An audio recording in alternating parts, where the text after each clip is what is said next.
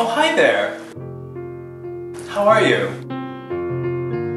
I bet you're interested in hearing more about the Geeks Out holiday party coming up on Wednesday, December 21st.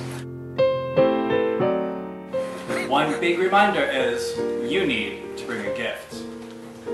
I have really loved reading Runaways. It's a fantastic story. But I've read it a hundred times already, and I'm ready to share it with the rest of Geeks Out. So what am I going to do? I am going to bring it with me. Ta-da! Uh, bring your freshly wrapped gift to the party, and in exchange, you will be able to share your gift with someone else.